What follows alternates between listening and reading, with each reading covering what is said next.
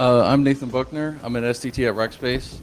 Uh, I work with the quality engineering uh, tools team, designing tools for security uh, and for other QE testing teams. That's okay. Go, go ahead. That way I can. Uh, so um, I'm Stephen Lowry. I'm also a software developer test at Rackspace. Uh, I work on the automation and infrastructure team.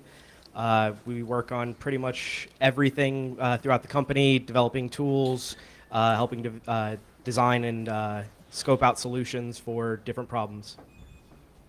Oh yeah. Okay. Um, I'll try to talk loud here. So I'm Matt Valdez, um, the security developer uh, of the group. So, um, so what does that mean? So uh, our team on the security side, we actually report in the same structure as the, the quality engineering team.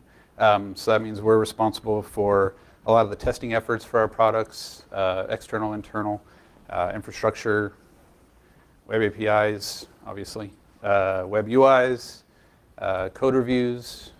Um, so pretty much the whole gamut there. We have a separate compliance department that handles those types of things, luckily. Um, we're involved a, li- a little bit in the testing there sometimes.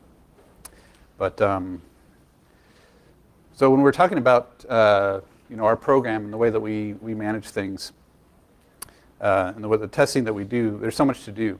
Um, So, you know, in case, in case you, uh, you know, have been living under a rock or didn't see Matt Tesauro's talk yesterday, um, there's, this, there's this move towards doing a, kind of an AppSec pipeline, right? Doing automation where you can, um, managing vulnerabilities, managing your intake, managing your processes.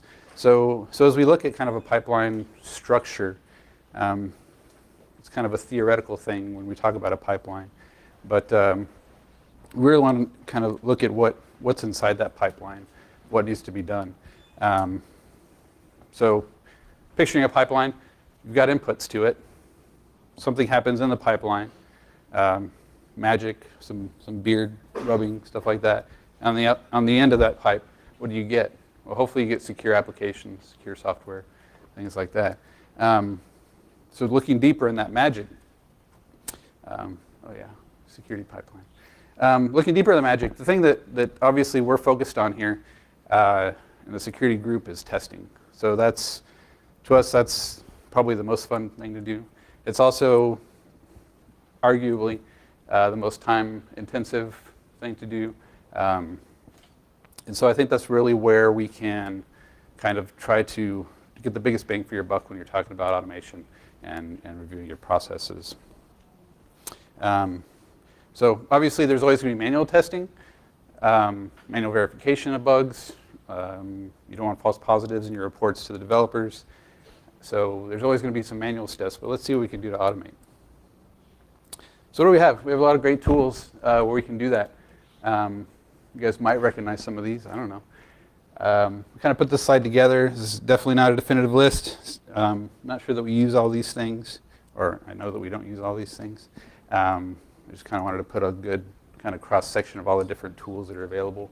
So obviously, top row, first-class citizens are open source tools that we know and love. Um, and of course, there are third-party vendors, and, and obviously there's outsourcing that you can do as well for some of this testing.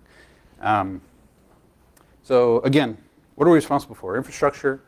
Um, is there any, anybody else uh, responsible for infrastructure testing where you're at? This guy back here, yeah. Um, so tools for that. Recognize anything here? Nmap, it's classic. Um, the alien guy, Nikto, he's good, good stuff.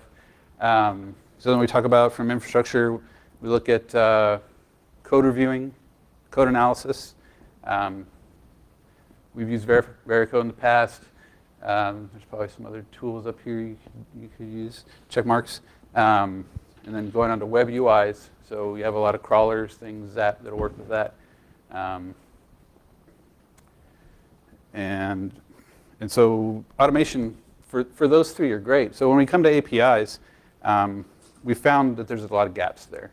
Um, so some of these some of these uh, tools kind of cross over into API testing. Obviously, we use we use Portswigger's Burp Suite uh, quite a bit for that stuff, and it's a wonderful tool. It's really enabling uh, for us to be able to see the packets, be able to manipulate, manipulate the packets. Um, and uh, you know it, it's it's great, but the, the so I think there's still some work to be done there, obviously, uh, with automation, and actually being able to do automation within like your Jenkins pipeline or being able to do automated testing uh, to again get that that efficiency. So today, API testing automation. So right now, I feel like I'm just going to keep doing the same things that we keep that we've been doing, um, using curl, writing custom code. Um, some of uh, some of our team is actually using some of our, our QE test frameworks to write security tests. Um, very development heavy, um, not exactly reusable between different uh, different products, different APIs. Um, very custom. It works great, but it's very time intensive. Um, so why does that matter to us? So uh, it's not. So for us, it's not good enough to say, okay, we've got automation for infrastructure, we've got automation for UIs, we've got automation for some code, static analysis. Um, maybe we just leave API testing as kind of a gap in automation. We just keep keep doing that manually, or or partially automated. Um, well, at Rackspace, we use OpenStack for a lot of our products. Um, in case you don't know, it's an open, open source cloud platform. Uh, it was actually started by NASA and Rackspace in 2010. Um, lots of code has been contributed, as you can see, and there's a lot of contributors to the project. Most of it's Python. So again, uh, going back to the static analysis piece, there's a, there's there's more uh, more platforms that are supporting Python as we go along, but it's definitely been a gap here. Um, I'll talk about a, a a, a, Python static analysis tool a little bit later. But uh, this, the, the reason this is relevant for APIs is because OpenStack is basically API centric. Um, for Rackspace, if you go to our website and you want to sign up for a cloud service, pick one, pick them all. Um, there's a ton of them, so I think there's 20 up here. Um, each one has an API, each one has multiple resources, uh, potentially multiple versions uh, it runs the whole gamut. So we're responsible for testing these things. Um, and these are all public facing. These all offer public APIs. Um, customers are using these. So they're, they're pretty high value assets. Um, there's a lot of exposure up there. Um, to add to that, we do have a control panel for customers to use to kind of take advantage of some of the, uh, some of the more popular features here. But a lot of the functionality behind the API is not exposed in that UI. So that's where some of the, some of the uh, automated API testers that we have, API testers, if you want to call them that, today kind of have a gap because they're browser driven. They need a, they need a UI to find the links, to find the resources, to crawl those pages and get and, and examine the, the, uh, the traffic going back and forth and, ma and manipulating that data. Um, so if we don't have a UI exposing these capabilities, we have to test it uh, you know, straight on to the API.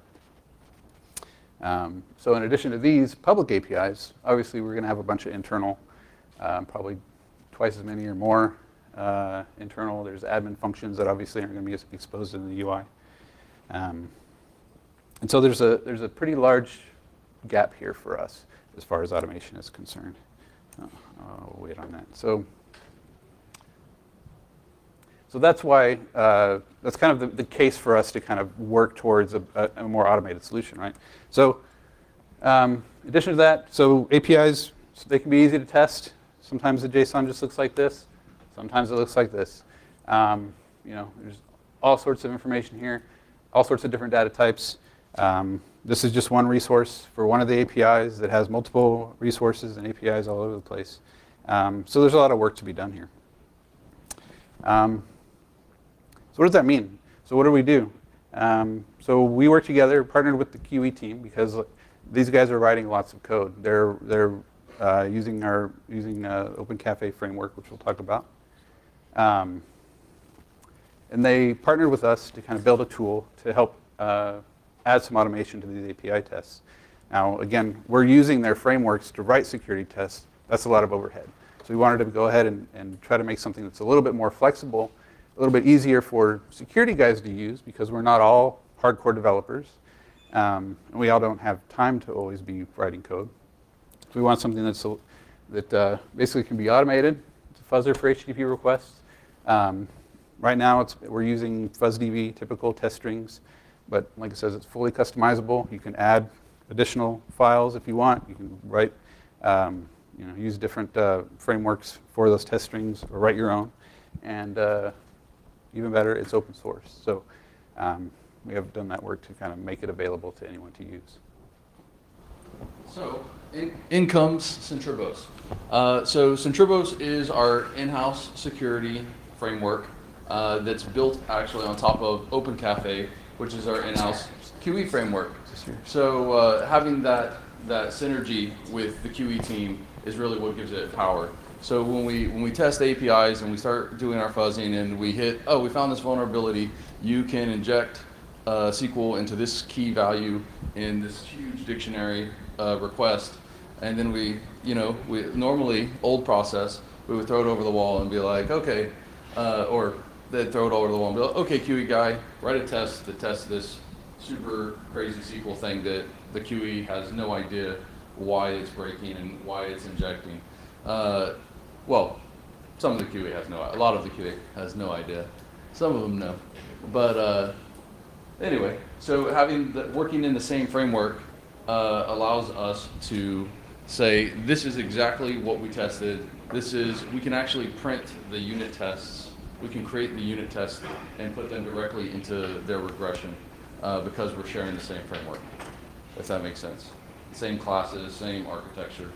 Um, so, oh, let me talk about Open Cafe a little more. OpenCafe uh, is based on unit test. Uh, those are the links if you'd like to check them out. Uh, the read the docs and the GitHub. And yeah, I suggest I, I'd like everyone to check it out. So how Syntribos is architected. Uh, so we read from a configuration, uh, and the configuration is usable at any point during the request pipeline. So we have a request, which is your standard burp request. Uh, you know, just copy that payload. Uh, we pass that into our data generator, which will go and fuzz the individual keys in the JSON or the XML. Uh, and it's extensible, so you can add YAML later or whatever you're looking for. And then that goes to the data generated test, which is just sending, actually making the request, and then validation, checking status codes, checking length, checking for uh, a huge SQL dump, uh, stuff like that. So let's go into our configuration, how, how uh, a Syntribos configuration would look. Um, so basically, you, you decide your endpoint. Uh, that's going to set your network layer. Uh, and then uh, the other configs, the username, the auth, all of that, all the rest is uh, customizable depending on the test. So if your test requires a user, then you need to put that in your config. If, uh, if your test requires some other endpoint or some other configuration data, you can just, it's, it's extensible. You can create the config and have it, uh, and have it read in anywhere during the test. So, uh, this is example of a standard, I put Syntribos request, but actually it's just standard burp request. Pretty straightforward copy paste example. Uh, just copy it out, paste it into a, a file. Um, so what's what's cool about our payload generation? Uh, so if you're doing SQL injection, it's dropping SQL uh, in, injects into all the variables. If you're doing LDAP injection, it's doing very specific LDAP queries. Um, oh, as I said earlier, network layer is covered by the config. Uh, and this is really only for HTTP currently. We plan on adding other protocols in the future. Uh, you know, like having like an active MQ would, would be nice, so you can fuzz into your queue system. Uh, but currently, it only supports HTTP.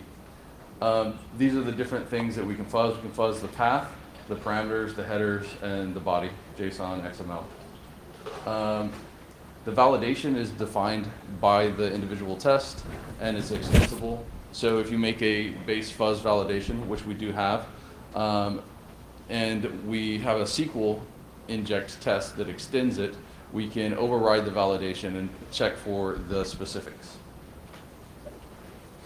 Um, extensions. So uh, one of the problems with trying to to get to fit security testing into a, a framework that's designed for QE is there's always code limitations that that we have to overcome. Like, uh, oh, it's only designed to send uh, the correct body.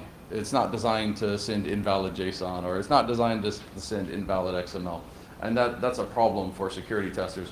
If you can't use a framework uh, and send invalid data, you know, it's, it's not very useful. So that's, that's one of the, the benefits of Syntribos. It can literally replace anything in the request. In fact, uh, did anyone do the capture of the flag? No one? No one did capture the flag today? Yesterday? Okay. Uh, there was the first step of that. We could have, we could actually use, uh, it was, it had to do with the headers. We could have actually used Syntribos to find that first SQL inject, uh, if anyone else. Spoiler alert. Spoiler Yeah. alert, yeah. uh, I'm sure everyone knows by now, right? Uh, anyway, uh, we, we could have actually uh, fuzzed the headers with Syntribos, and it would have it would have brought to light that SQL inject.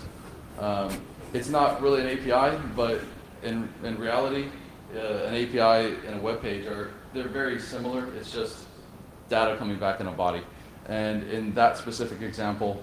Uh, we would be fuzzing the headers, so it doesn't, you know, it doesn't really make a difference what, you know, what we're sending in the body. We would just copy the request from Burp, run the fuzz headers test with SQL injects, and then magic. Okay, so, uh, let's see. Uh, we also add, so our extensions allow us to do stuff like get the authentication token. Uh, it allows us to make our, uh, our request custom. So uh, we'll, we'll go into this a little more during the demo. Oh, which is right now.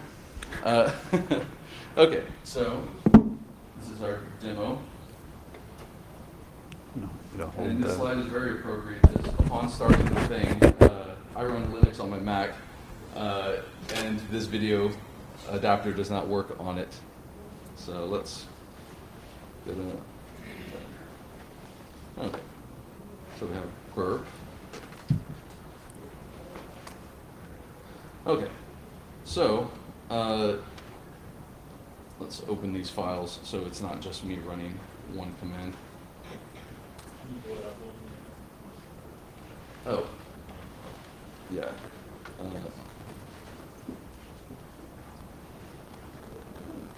It's weird. checklist? Yeah, there we go. Okay. So this is me running Syntribos. This is the config file. Oops. Okay. This is the config file I'm using, and this is the payloads, uh, or the payload Yeah. that The HTTP request. so before I run this, I'm going, yes, of course. Uh, I let's see, where, where does your virtual environment live? Uh, so let's see. Good question.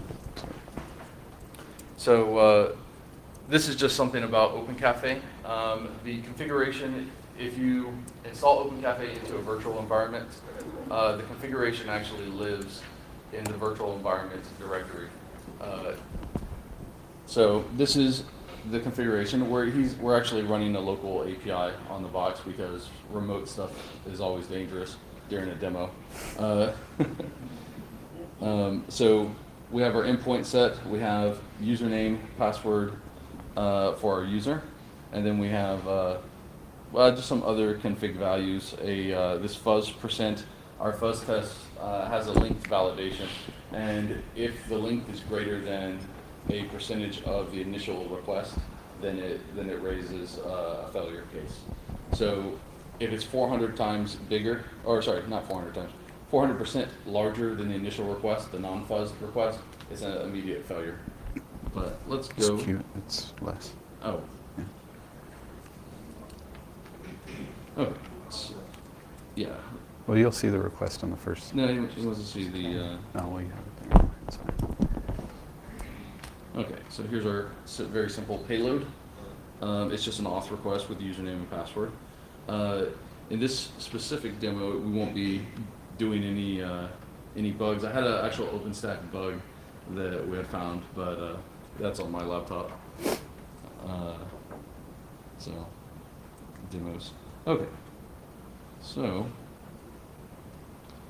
um, this LDAP here is one of the tests. I will so- leave that because then it's only got a couple of strings in there. Oh, okay. Versus, Uh, it's a stripped down test. It only has a few strings because I don't want to show you all 15,000 requests. So, uh, So where's it pulling from? Oh, uh, in the config, it's not in the scale loads, or- okay. So let's. It, it is actually comes from the Open Cafe data directory.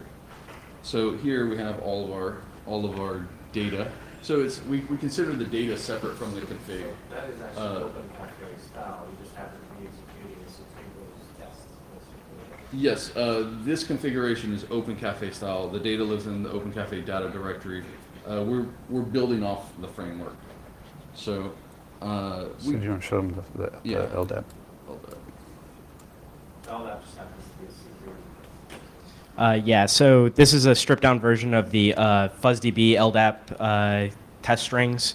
Uh, most of those in there aren't stripped down, and it's it's just uh, so- pretty much all of the stuff from FuzzDB. So if you do the FuzzDB SQL the tests, uh, there's Uh, about 100 or so different strings LDAP that it'll run through there um, in pretty much every possible field. Yep. Is this actually, Uh, the payloads, uh, that's a directory that he's created on the local system. The text file himself, that's uh, straight out of Burp for a standard tokens request to an authentication API. well, Um, yeah, so this is a kind of a dummy API, and that's basically just the HTTP request. There's nothing special about that. Hopefully it's in the API documentation, or if you're, if you're viewing your traffic in Burp, you can copy it from there. Um, so you can get it from anywhere. It's just a basic text file. There's nothing special about it. It's just a typical request with the, with the method, the resource you want to hit, HTTP uh, version, the headers, and then the body. So it's, it- So one thing to note is you don't have to do your individual requests one at a time, like one text file per. It can actually do a whole folder if you just point it at a folder. Uh, There again. Yeah, the, the, uh, so here, uh, these are the tests. Uh, when he, when he actually does specify that LDAP on the command line, it's doing a filtering by these test names, and it's hitting, it's pulling all the tests with LDAP. Um, yeah, uh, so these are the different LDAP tests, so there's only, there's the four here. So one for the URL, one for the headers, one for the this is params, where you- one for the body. where you uh, specify the file you want to use for that test. So Uh, This is why it's reading from the short file. Uh, It automatically knows to look in the Open Cafe data directory, uh, because that's just how the framework works. If you want data to be brought into your test, store it, store it there, and you can access, access it from anywhere when using the framework. So, uh, let's, let's get into the actual run. So, Okay, that's incredibly faster than the remote demo. Uh, so we had two failure cases. Um, we can go look at the logs, which is just a log of everything that happened in the request and the response. Um, but uh, instead, uh, we can see that these failed on the validate link, the assert true validate link call. So let's go, instead of looking at the logs, we're going to look at burp. So what we've done is we've exported uh, uh, HTTP proxy and HTTPS proxy uh, to allow allow us to push all of our requests through burp. Uh, and I pretty much do this on a regular basis when testing. Uh, so I can monitor, and it, this works for all Python on, on Linux or Mac. Uh, I don't know if that works on Windows. Anyone? might work, but it's unsupported. Yeah, might work. Who's using Windows to test security stuff anyway? Any, anyone here? uh, okay. It's okay. It's it's okay. We're okay with that. Yeah. Uh, you know, just because you know your box may get hacked while you're checking, while you're pen testing, you know, that's okay. Well, it helps to have those clients too, as a as an example. So, Anyway, uh, You can monitor them accurately. There you go. yeah. Yeah. So uh, this is our initial request here. Uh, notice our, so we, we sent username password. We got username was not found. So again, the request looks just like that original payload file. Yeah. Right? It's just, uh, Uh, except the formatting for the JSON. So now we're going to look at our other request. So here, the username has obviously been uh, fuzzed by the LDAP test string. Uh, then the password. We only have the two the two strings here, so we only see these few requests. But then we go back to another. This is another initial request because we've actually started a second test. Uh, so that was the first test that we went through was the body fuzzing. This is the initial for the header fuzzing. So now you see that uh, LDAP test string is up here. I guess pointing at my screen doesn't uh, doesn't work, right? Did y'all catch this? Just turn it around. so I'll use the uh, the mouse from now on. Uh, and so the one that actually failed is this guy. Apparently, this API, if you send in LDAP test string as the content type, it doesn't handle it well and throws a 500 exception. So uh, we automatically fail all 500s um, because regardless if it's security or not, uh, your API shouldn't be throwing 500s. And you can configure that per test, right? So, so if you, well, 500s are, Yeah, if you decide 500s are great, uh, yes. Just out of curiosity, other than the purpose of this is to exploit security vulnerability, I mean, this, in the end, comes under the larger context of data evaluation. Yeah. At all Yes. Yeah. HTTP request, not the or- Yeah, uh, You just try to throw stuff that's quote unquote invalid info. Um, that's the current test cases that have been written. Uh, so the way we've we've written, we're going to be able to. it's good, I'm just saying the intent of hackers, they usually use those to exploit, the intent might be finding security vulnerabilities, because this is an extended scope of invalid info. Right? Yes, yes, it Sure. definitely it definitely handles more than just security vulnerabilities. Yeah, uh, but the so we plan on building more than just the fuzzer into it. Like we we eventually want to add a uh, cross uh, like resource access test that you give it a resource and it, give it two users, and then it'll take user one and try to access user two's resource. Uh, and we want we want to make that automatic as well because it's very common uh, test case for security professionals. Uh, so, you know, it's, it's just, it's whatever, whatever the security engineers build, then the tool will have. Uh, the goal is to get more people, uh, involved. Taking it a step further, is that basically the biggest value, right? sure. Yeah. And, and the automation. So it's a command line tool, so you could run it, you know, in Jenkins or Yeah. whatever kind of, So the goal Schedule is you want. that, uh, so I think, I, I consider this a problem. Currently, a lot of security professionals don't know how to dev. And I think that we're, we're quickly becoming, uh, where everyone needs to know how to dev. Where, Yeah, where AppSec, your even your IT people are eventually going to be going to have to learn how to automate their functionality. Uh, so you know, just look at all the DevOps tools that are you know SaltStack, uh, Ansible. Uh, these tools are going to be just like a way of life soon. Yeah. Um, and, and additionally, um, the thing for this tool as well is that it, it would allow you to, as the company is scaling up into that where all of your security is being turned into devs, uh, a couple devs could be developing and maintaining the code infrastructure while your base security testers can just be taking the requests and actually running all of this automation, setting up the Jenkins jobs, doing the tasks required to actually run this while you still have people doing active development to create additional test cases, start working on new APIs, anything uh, relevant to that specifically. So this, so to me as a security tester, not as a, not as somebody that actually has vision for this and where it's going. Today, it, it kind of mimics what Burp Intruder does, that feature, because it'll, it goes through and replaces all those parameters, all those values. Um, I'm So- just showing an example log. um, so, I'm forgetting your question initially. No, but, uh, in terms of, this is, what- this is Okay. some of the manual stuff that a security. Sure. So Burp, but, but when you're using Burp, right, you're sitting at your desk and you're doing it, right? And you've got all these tabs open and windows and, and trying to, to manage that. And for me, it, it can get a, you know, again, with all the APIs and all the resources that you're testing, that can be tough to manage. Um, all that data that's coming back. This can run the tests.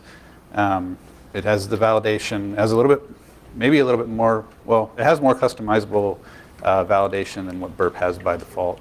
Um, obviously, you need to build a little bit into it for it to, to do those things, but it has that, that possibility. Like Burp, you can, it can look for specific strings in, uh, in the response and tell you and kind of flag those things. Whereas this, hopefully, you can get it to a point for a specific product or a, a class of products that kind of all act the same way. You can have configurations built for those, and then you can just run it all the time, right? Versus uh, you know saving it in Burp external to a tool, something that you have to be running with your hands. This can then be, be integrated into automation. Sure.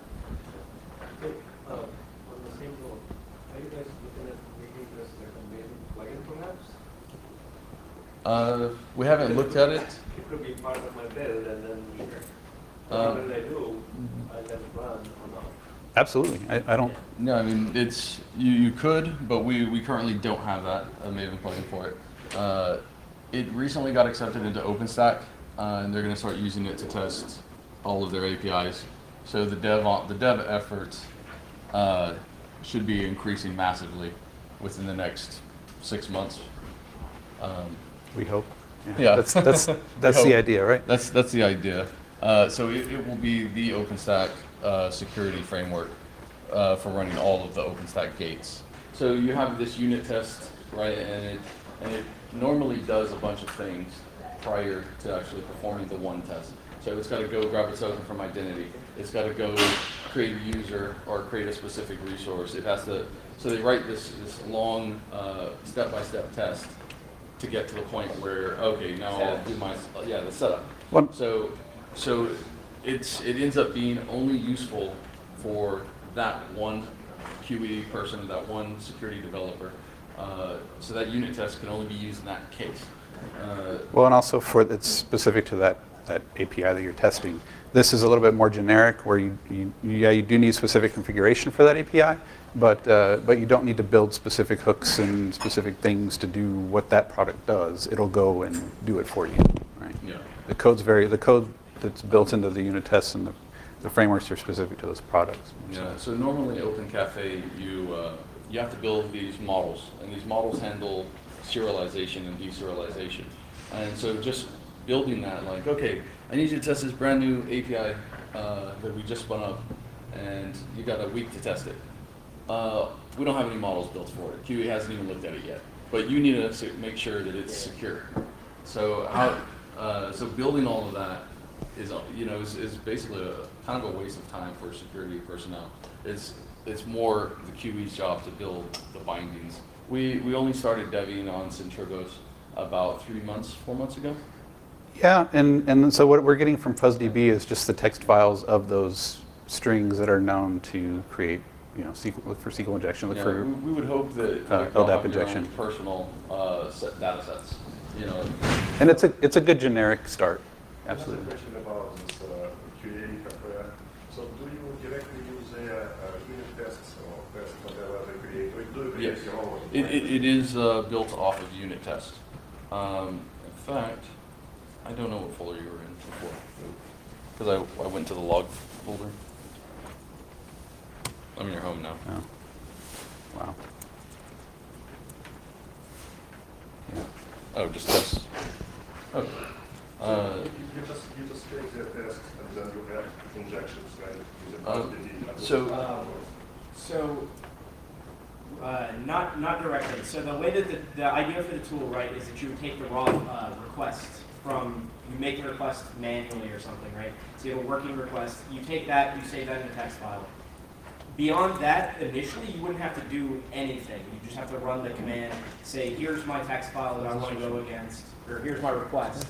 Um, and then here's the thing that I want to use, or all of them. What are you Where were looking you? And it will Where- do that the folder you were in Uh, you You don't have to use something that your QE or your devs have built. Uh, For any of the generic stuff, it's meant to work on any possible uh, XML or J- or JSON request. I mean, of that, maybe your developers are automatically generating uh, samples or for their dev guides or something similar like that, but uh, then again, how not uh, all not all the time do developers keep up with dev guides. So That's absolutely a gap, and I think that's one of the, the problems or one of the challenges with automating API testing um, for this HTTP stuff is there's no standard.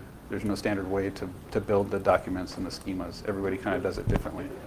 So if we get adoption with our developers to, to do that stuff, or documentation folks, or whoever does that, or you know, somebody would need to take on kind of that, that standard. Yeah, you just, just scrape the page, or, or there's, there's a format, right? You could export it or whatever. So again, Syntribos was accepted as an OpenStack security project. Um, and basically what that is, it's a group of, of security-minded folks that work on OpenStack. Um, they, they do a lot of good work. Um, I mentioned earlier, there's a Python static analysis tool, and it's called Bandit. It's very early on, but there's a lot of changes going on there. So if you guys work with Bandit, um, and you're kind of struggling like we are, and trying to find something to kind of close close some of the gaps with uh, the static analysis tools, Bandit's a good start.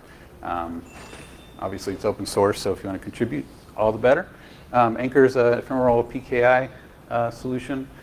Um, and again, both of these, they're, they're OpenStack security group projects, but they're not specific to OpenStack. You, can, you, you don't need OpenStack to run these. Um, some of the other stuff that the, the team is doing is security guides, so best practices for OpenStack deployments. Um, uh, Major Hayden from Rackspace is working on some OpenStack uh, Ansible roles so that uh, we can have some secured uh, deployments uh, built in there. And, that's, and I would imagine at some point, that's, that's really early on right now. I imagine at some point that's something that you could even use for, uh, for other, uh, other deployments as well. So we're definitely looking for helpers. I think we have something like 200 members, 200 members in OpenStack security project. Um, you know, maybe 10% of those are really active. Um, but it's a, it's a good it's a good group of folks, and it's it's it's security uh, based. Again, a lot of the stuff applies across the board, if you're not using OpenStack. Um, so if you find the resources helpful, let us know if, if you have any questions. Um, this is where you can find us on Freenode uh, every Thursday at 12 Central. There's an OpenStack meeting. Uh, it's about an hour, and then uh, you can reach out on the mailing list. And uh, here's the GitHub for Syntribos. Again, it's under the OpenStack uh, umbrella. Uh, so we have some documentation there as well, which might fill in some of the some of the questions that uh, that you might have after this uh, after this demo. And uh, anyone have any other questions? Yes, sir. So Rackspace has a pretty huge public API, right? Um, Is there any information you can share on like patterns or trends in the types of attacks you guys are seeing on the API? Is there something that you know, make you want to build this tool because you're seeing those types Wow. of attacks? Uh, well, not taking care of uh, data validation. That's that's the largest by far. Uh, especially, I mean, XML APIs. You get XXE injections.